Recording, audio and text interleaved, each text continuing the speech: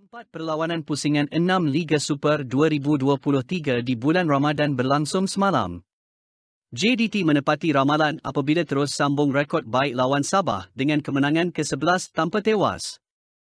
Tetapi isu utama dibangkitkan oleh penyokong Liga Malaysia ialah pemain Harimau Malaya Arif Aiman dan Endrick Dos Santos cepat cergas sepenuhnya dari kecederaan.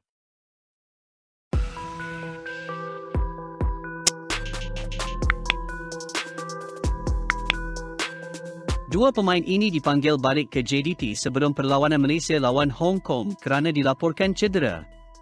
Ia tidak merugikan negara kita kerana Malaysia masih menang lawan Hong Kong dengan Faisal Halim dan Akia Rashid.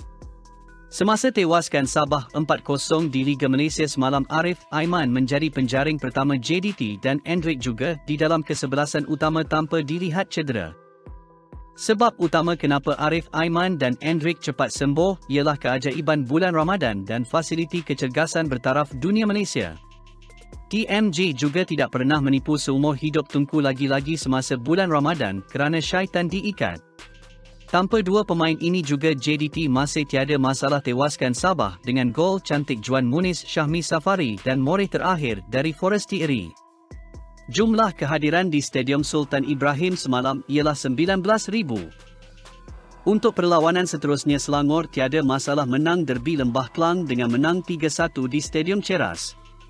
Selangor menang dengan dua jaringan penalti Iron Del Valle dan Faisal Halim dan gol ketiga dari Tapin Iron yang bermain baik selepas teruk dikecam.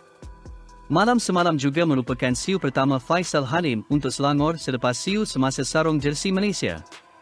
Tetapi KL City mula perlawanan baik dengan gol luar kotak penalti Kipri Cece. KL City masih tiada kemenangan pada 2023 dan sangat berbeza dengan 2022 apabila layak ke final Piala AFC. Untuk perlawanan ketiga sang penyu menang tipis ke atas Kelantan United 2-1 dengan jaringan dari Jordan Mintah dan pemain JDT dipinjamkan ke Terengganu Liridon Krasniki.